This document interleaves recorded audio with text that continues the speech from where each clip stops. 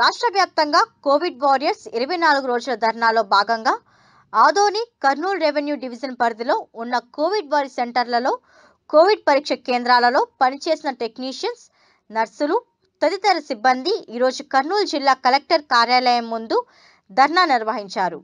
ఈ కార్యక్రమానికి జిల్లా నలుమూలల నుండి కాంట్రాక్ట్ బేసిక్ మీద పనిచేసిన కోవిడ్ వారియర్స్ పాల్గొన్నారు. ఈ సందర్భంగా వారు మాట్లాడుతూ కష్టకాలంలో మా కుటుంబాలకు దూరంగా ఉండి మా ప్రాణాలను కూడా లెక్క చేయకుండా కోడి యుద్ధంలో పాల్గొని ప్రజలకు సేవ చేశామని ఎంతో మందికి ఉద్యోగ భద్రత కల్పించినటువంటి జగనన్న మమ్మలను మా కుటుంబాలను ఆదుకోవాలని లేదంటే మా బతుకులు రోడ్డు పాలవుతాయని కనుక ముఖ్యమంత్రి జగన్మోహన్ రెడ్డి గారు తక్షణమే మా యొక్క విన్నపాన్ని మన్నించి మా ఉద్యోగాలు కొనసాగేలా చర్యలు తీసుకోవాలని వారు విజ్ఞప్తి చేశారు. రాష్ట్ర వ్యాప్తంగా దాదాపు ఇరవై రెండు వేల మంది కోవిడ్ ఫ్రంట్ వారియర్స్ జీవితాలు వారి కుటుంబాలు జగన్మోహన్ రెడ్డి గారి ఒక సంతకంతో వారి జీవితాలు మారిపోతాయని కనుక ఆ దిశగా ముఖ్యమంత్రి గారు చర్యలు తీసుకుంటారని సమస్య పరిష్కారం అయ్యే వరకు మా ఈ నిరసన కొనసాగిస్తూనే ఉంటామని తెలిపారు. అందరికీ నమస్కారము. మేము కోవిడ్ వారియర్స్గా ఆరు నెలల రిక్రూట్మెంట్ కింద మేము జాయిన్ అయ్యాము. మాకు ఆరు నెలల రిక్రూట్మెంట్ అయిపోయింది ఇంక మీరు వెళ్ళిపోండి అని చెప్పేసి మాకు ఏ నోటిఫికేషన్ అనేది ఇవ్వలేదు. ఊరికే మేము ఇట్లా ఇట్లా ర్యాలీలు చేస్తుంటే మీరు అయిపోయింది వెళ్ళిపోండి అని వాళ్ళు మీ వాళ్ళ వాళ్ళకి మేము అడిగితే చెప్తున్నారు కానీ వాళ్ళు ఏమి డ్యూటీ రోస్తారు అవి ఇవి ఏమీ వేయలేదు మాకు. వాళ్ళంతా వాళ్ళే చెప్పి మమ్మల్ని మేము అడిగితే చెప్పి పంపించేశారు. మేము ఆరు నెలల కిందట రో మేము పేషెంట్కి సేవ చేసినాము. నైట్ డ్యూటీస్ అనక మార్నింగ్ డ్యూటీస్ అనక ఆఫ్టర్నూన్ డ్యూటీస్ అనక మా ఫ్యామిలీస్ని దూరం పెట్టి మేము సేవ చేసినాము.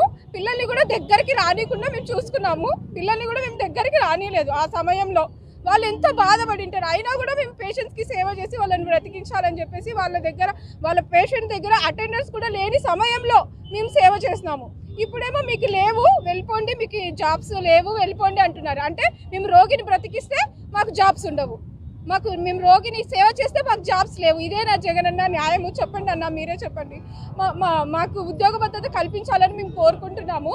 మా కుటుంబాలు ఎంతో మంది ఇరవై రెండు వేల కుటుంబాలు జిల్లాల వారీగా ఇరవై రెండు వేల కుటుంబాలు రోడ్లు అయితే ఖచ్చితంగా పడిపోతాయి. లాస్ట్కు చా- ప్రాణాలు కూడా కోల్పోతారేమో అర్థం కాకుంది.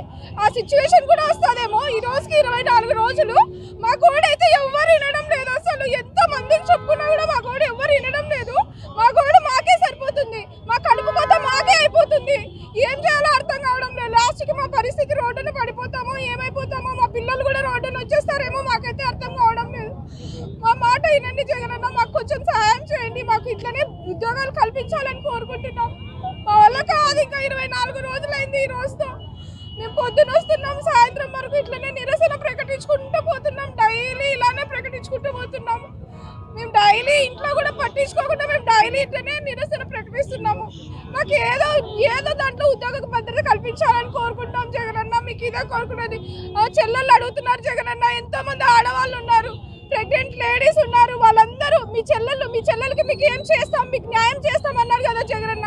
మాకు న్యాయం చేయండి మీ చెల్లెళ్ళలాగా అడుగుతున్నాము. మీకు చెల్లెళ్ళలాగా అడుగుతున్నాం మాకు న్యాయం చేయండి జగనన్న.